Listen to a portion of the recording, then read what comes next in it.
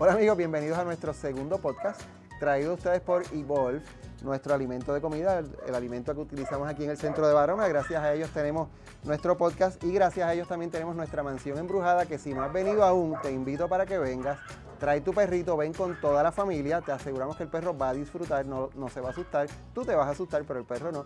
Igualmente, si quieres venir sin el perro, la última función de cada noche es para asustarte de verdad, así que ahí sí es para adultos solamente. Amigos, hoy en nuestro segundo podcast tenemos una invitada bien especial, atleta, actriz, es una guerrera. Vamos a recibirla, amigos, vamos a recibirla ahora mismo.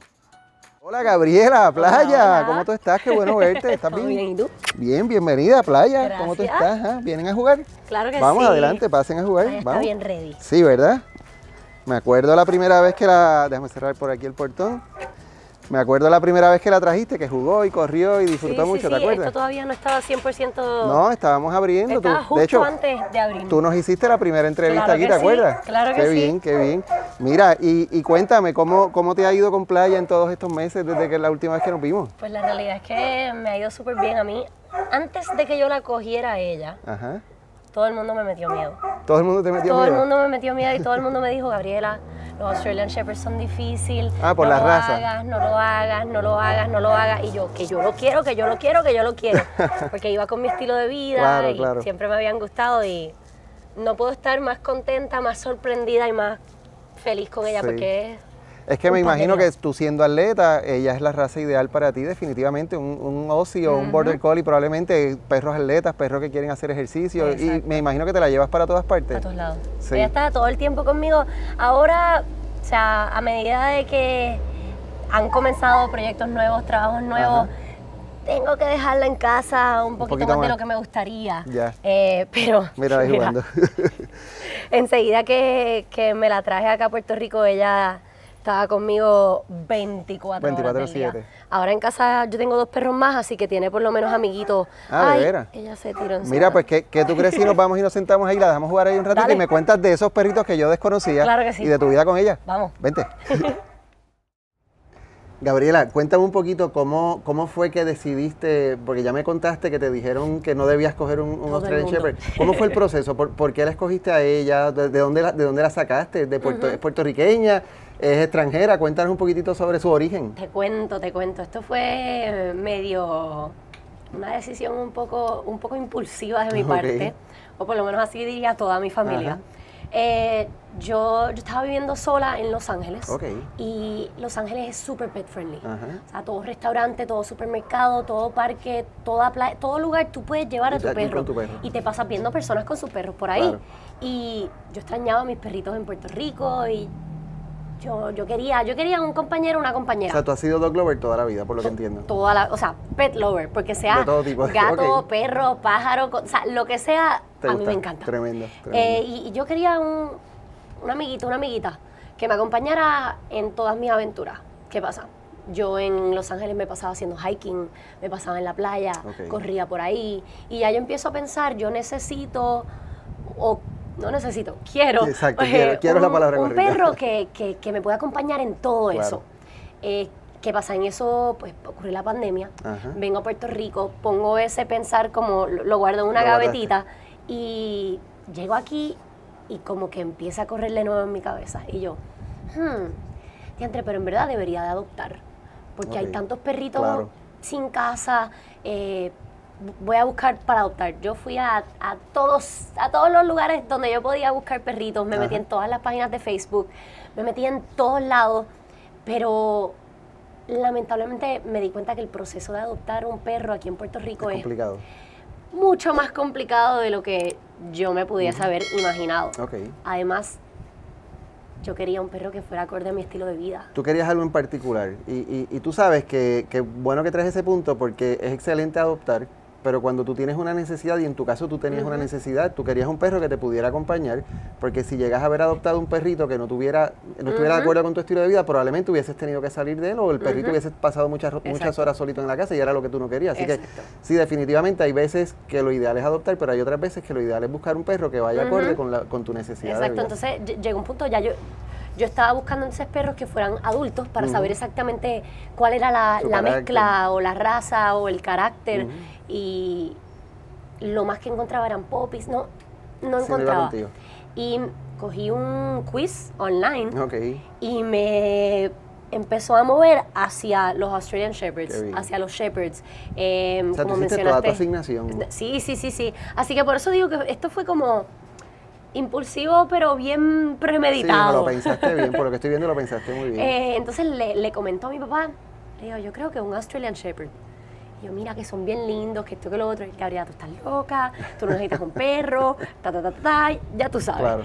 Em, y, y, nada, nos metimos a buscar y a buscar y a buscar y, nos dimos cuenta que los precios que a veces le ponen a algunos perros, dependiendo de la demanda que haya o, si son trends. Sí, sí, son astronómicos. ajá, Este, entonces, pues, estaban al garete. Y yo seguía con este pensar, Dios mío, yo no puedo gastar tanto dinero en un perro cuando hay tantos perros sin sin hogar, sin casa, abandonados. Eh, y seguimos buscando y seguimos buscando hasta que encontramos un breeder en Tennessee. Ok. En el medio de la nada, en un campo, y mi papá y yo como, mira, esto es... Ah, ah, había, había cierto recelo, ¿verdad? Exacto, pero yo, o sea, Gabriela fue FBI agent. Okay. Yo estoqué a ese hombre hasta por Venmo. o sea, yo, yo lo encontré, yo chequeé sí, todo. Sí, buscaste todas sus cuentas. Ajá, porque él me decía, no, tienes que hacer un depósito, mm. mitad, de, mitad del pago, y me lo, me lo haces por Venmo. Y yo, Sí, sí, eso se está sospechoso. Y yo me chequeé todos los récords del hombre. Eh, y dije, bueno, pues, lo hacemos. Sí, sí, porque si querías tenerla tenías que arriesgarte Ajá. Así que le hice, le hice el depósito, crucé mis dedos, después de hacerle yo el depósito, es que él me envía fotos cuando sus perros tienen este popis. O sea que tú, no habías visto, no la habías visto a ella todavía. Yo estaba en una lista de como 11 personas. Oh, wow, Porque tú le decías, a mí me gustaría eh, un Red Merle, que es lo que es playa, eh, que sea hembra. Y ya. Y entonces pues él te ponía en, en la lista. Ah, esperando a eso en particular que estás esperando. Eh, yo tengo dos perros ya en mi casa, ambos son machos y ambos se creen que son los reyes del universo. Así que según lo que me lo que leí, lo que me dijeron, idealmente pues sería una, hembra. Una hembra, definitiva. Y yo, bueno, pues vamos a buscar. Me puse en la lista, era como la número 11. Y él tenía dos perritas como ready. Y me llamó, me dijo, mira, estos son los que tengo. Me mandó fotos. Unas ratitas, así. Sí, sí, imagínate tú, acabaditas de nacer. ¿Y él, cuál tú quieres? Yo no sé. Son todas iguales en la foto, ¿verdad? Ajá, o sea, ella tenía las manchitas más grandes marrones. Y yo, pues la número uno. y él, ¿are you sure? Y yo, sí, qué sé yo, no las conozco. Sí, sí, dale, la número uno. Y cada dos o tres meses, o sea, dos o tres semanas él me enviaba como una fotito y yo la veía. bueno, por lo menos fuiste viendo el crecimiento Exacto. de ella. Entonces, algo me imagino que sabes que distingue a los Australian Shepherds son los ojos azules y obviamente nada te garantiza que vaya a tener ojos azules, pero hay gente que está antojada de los ojos azules. Entonces, si el perro después que abriera los ojos tenía ojos azules, pues tenías que pagar una cantidad extra. Oh, de. Sí, sí, todo un proceso, todo un protocolo. Y yo, bueno, pues, ojalá los tenga azules, pero no sé. Y, y nada, me llegó el momento de de que cumplió sus tres meses, me monté en un avión. Yo tenía, sí, porque ya yo estaba aquí, ya pues me habían surgido cosas aquí que me habían hecho entender que me tenía que quedar aquí más tiempo de lo que yo pensaba, em, que ya ahora pues en mi hogar ya vivo aquí full, eh, pero voy a Los Ángeles a bregar con dos o tres cosas que tenía ya pendientes y de ahí yo decido, ah, de aquí es que yo la voy a ir a buscar. Entonces me monté en un avión, me fui para Tennessee, la busqué y dije, ya ahora quiero hacer un road trip. No me preguntes por qué, pero a mí me dio con que yo quería hacer un road trip. Alquilamos un carro en Tennessee, un perro de tres meses. Y te lo llevaste de road trip. Y yo guié desde Tennessee, que es el mismo medio de la nada de Estados Unidos, hasta Florida. Hasta Florida. Wow, wow. O sea que ella fue aventurera desde el primer momento. Qué bien. Mira, ¿y por qué surge el nombre de playa si la buscaste en el mismo medio de en la el nada? campo. Porque, por ejemplo, yo tengo una perrita que se llama Happy Journey, porque siempre está... Fe de- yo a mí me dieron la opción de escogerla cuando ya era un poquito más, más mayorcita, ¿verdad? Tenía como tres meses.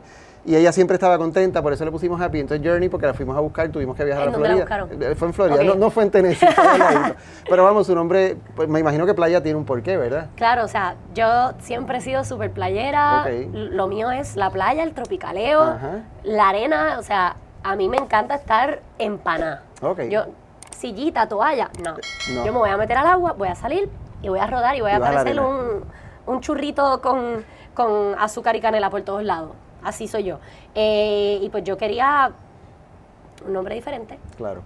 estuve pensándolo por bastante tiempo. Ajá.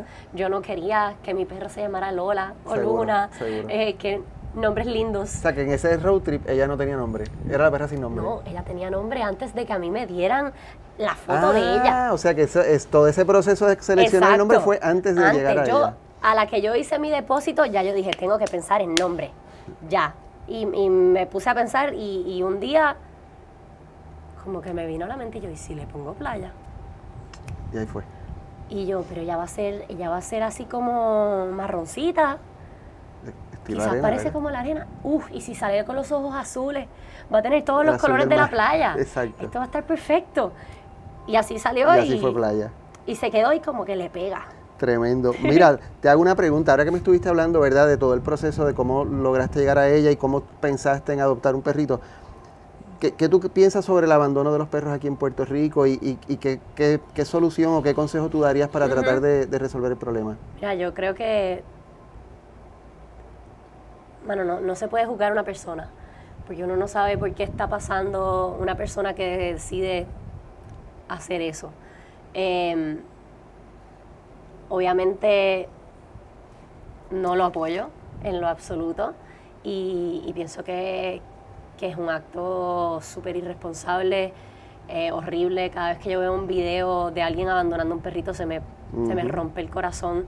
Eh, me imagino que recientemente viste el Claro. perrito, el, el video que abren Sí, una Y puerta el perro sale corriendo detrás. y sale corriendo y por más que la gente diga, ah, no, que si los perros no sienten, no piensan, Mm. no esto, no lo otro, una vez tú tienes una mascota que, que, que quieres y pasas mucho tiempo con ella, tú entiendes que- Claro. que, que ellos te entienden, que No, ellos no, sienten oye, que... no, no vayas muy lejos. Fíjate que ahora mismo nos íbamos a sentar aquí y la tuvimos que traer a ella porque ella quería estar contigo. O sea, ella quería estar con mamá. Ella no quería estar por ella, quería estar contigo. O sea, los perros definitivamente sienten y padecen. Exacto, así que ca- cada vez que veo uno de esos videos o escucho una historia o, o simplemente pienso en eso, me da una pena horrible. Sí. porque no, no se merecen eso.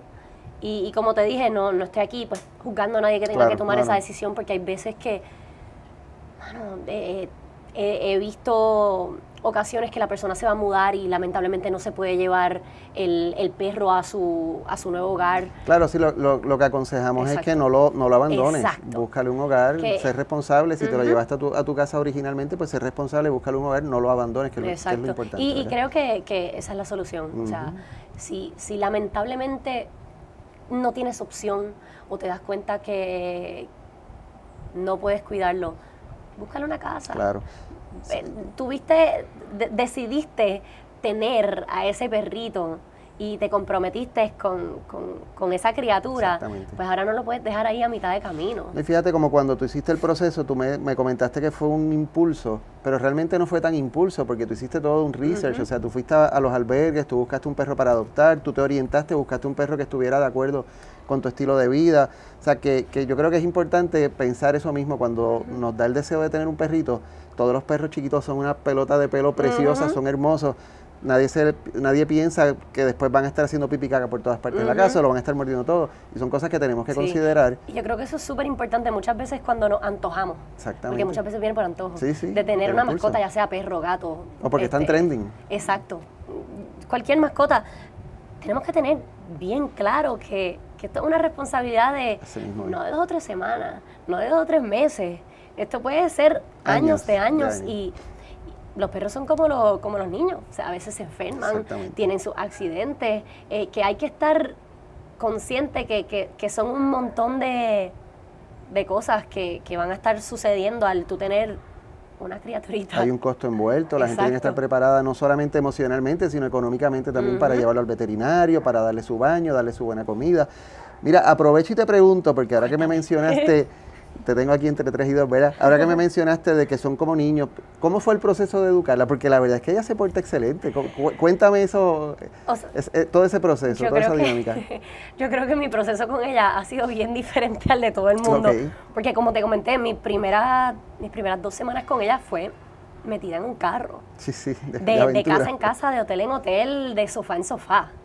Eh, así que fue como que, bueno, playa, o te portas bien o te portas bien. Sí, sí, o nos llevamos bien o nos llevamos bien. No hay, no hay, otra alternativa. Exacto. Y yo te lo juro, por todo ese primer hotelito que nos quedamos, nos quedamos ahí mismo en, estábamos quedándonos en un Airbnb ahí mismo en Tennessee. Ajá. Ella fue a su pad.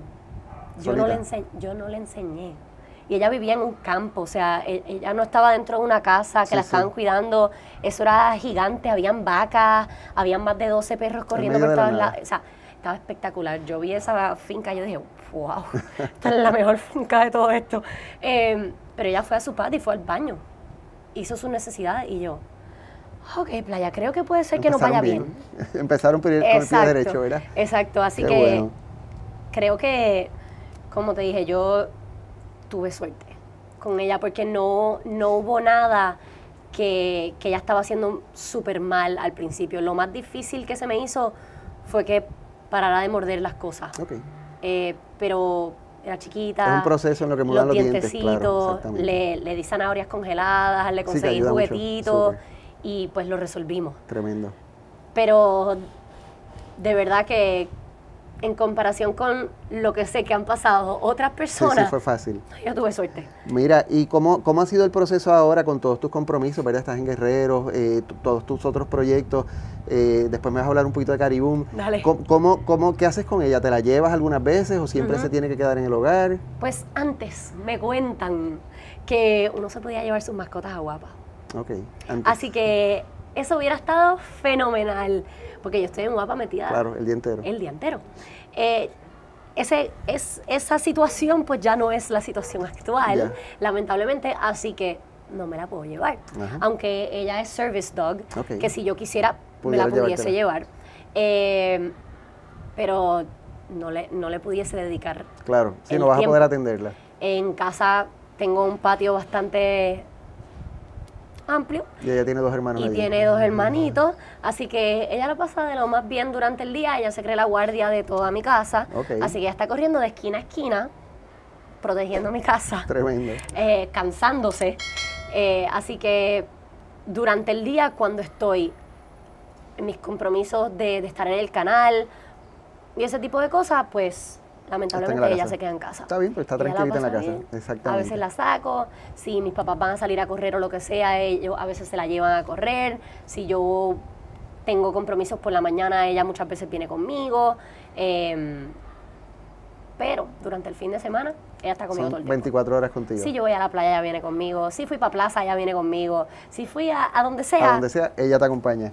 99% de las veces ella está conmigo. Qué bien, qué bien. Mira, y esto, te pregunto, hablamos un poquito de ese proyecto de Caribum que me, que, me estabas hablando hace un claro, ratito. Claro, eh, Bueno, como te mencioné, yo soy de playa full. Eso es lo mío. A mí me gusta el tropicaleo y yo toda mi vida había querido tener una línea de trajes de baño. Ok. Pero cosas de la vida, todo el mundo tiene líneas de traje de baño hoy en día, pensé yo, Ajá. no me interesa, lo puse, lo pasé a segundo plano. Y en mayo del año pasado empezó.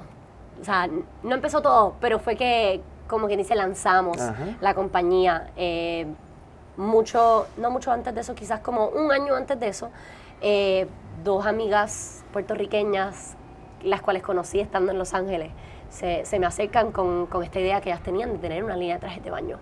Y me estaban medio pidiendo consejos, lo que sea.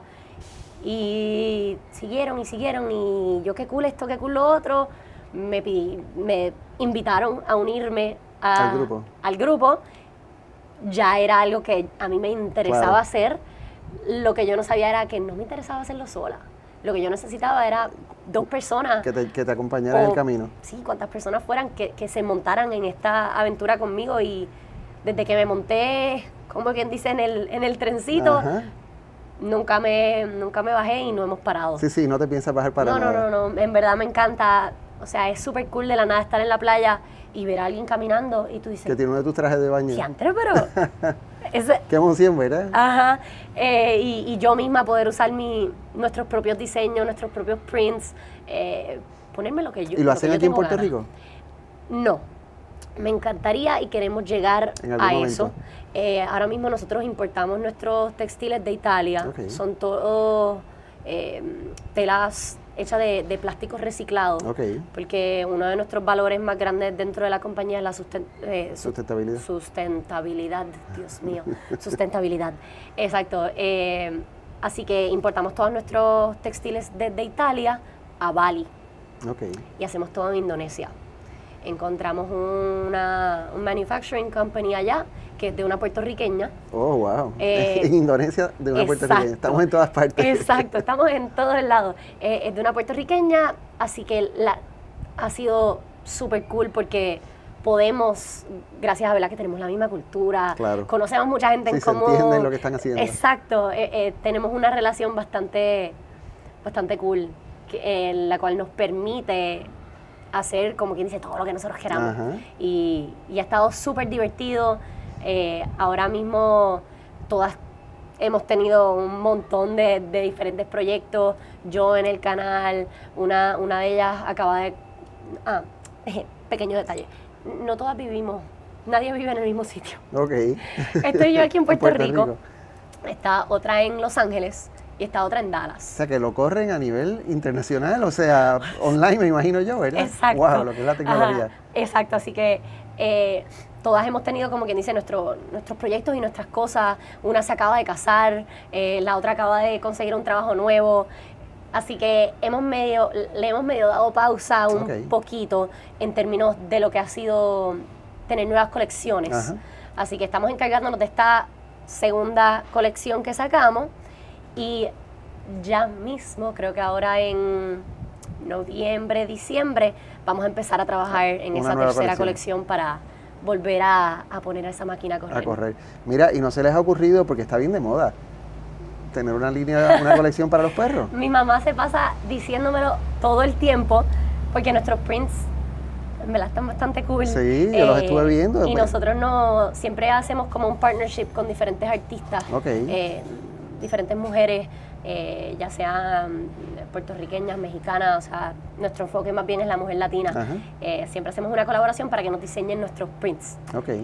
Y, lo hemos pensado porque los prints están bien cool. Y mami me dice, Gabriela, con la tela que les sobre, hagan unas bandanitas para los perros. ¿Tú te imaginas que tú vas a la playa con tu, con tu ¿verdad? Tu traje de baño y el de playa pegue contigo? Sí, Así que eso, eso definitivamente es algo que hemos, que lo han analizado ya, lo han pensado. en consideración y, quizás quizás las ves por ahí. Así que esa, está in the works. Mira, Gabriela, cuéntame alguna travesura, algo especial que haya hecho, haya hecho que tú me digas, mira, DH ese día me, sacó por la, me sacó por el techo. Ay, Dios mío, sí. Su primera semana conmigo. En cuando el road llegué, Cuando llegué a Florida, que era como quien dice mi destino final, ahí viven mis abuelos. Eh, así que ahí, ahí, fue donde paramos y de ahí fue que me, vine para acá en, en avión.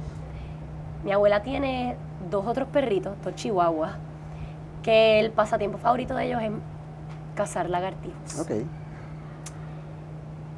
Ella es una bebé. Ella, yo no sé si había cazado lagartijos antes o le gustaba habría lagartijos en Tennessee, ¿verdad? Exacto, yo no sé. Pero a ella no le dio con cazar a los lagartijos. Ella le dio con reunir los lagartijos que los otros perros ya habían cazado ¿Y llevártelos de trofeo? No, hacer una camita y restregarse por todos los lagartijos. Ay, playa. Especialmente cuando ya yo la había bañado. Sí, sí, acabadita de bañar. Acabada de bañar. Ella no vuelo muy limpia. Yo estoy acostumbrada a oler a campo. A las vacas y a todo lo que había en Tennessee. y se pasaba restregándose lagartijos. Eh, así que eso, eso fue horrible. Sociable y amigable por demás. Mira, y dentro de todas esas, dentro de todos esos proyectos que tienes, ¿no, ¿no tienes alguna colaboración que estés trabajando con playa o, tienes pensado en el futuro hacer algo en el que tenga que ver playa, envolverla de lleno? Hmm. Ella, de, vez en cuando, o sea, en términos de lo que son las redes sociales y, las diferentes marcas con las cuales eh, yo tiendo a trabajar, ella de vez en cuando está incluida. Ella va y graba contigo, ¿verdad? Este, ella, ella de vez en cuando está incluida, me, a veces me regalan cositas para ella, para que sea parte de alguna campaña o algo así, eh, pero por ahora como ella no es la perrita más pet friendly del universo. Ay, ¿cómo tú vas a decir eso? Mira, qué cosa más chula. no, Ahorita es vas a jugar con human friendly. Ajá. a ella le encantan los seres humanos. Los perritos, estamos trabajando. Más, adelante, más adelante, poco a poco. Mira, ¿ya la trajiste a la casa embrujada? Tienes que traerla a la mansión embrujada. ¿Dónde está eso? Aquí, aquí mismo. Aquí todo el mes de octubre estamos con la ah, mansión embrujada, así que... Lo voy a apuntar para que venga para acá. Más, te voy a dar un par de boletos para que la traigas ahí y invitas algunas amistades.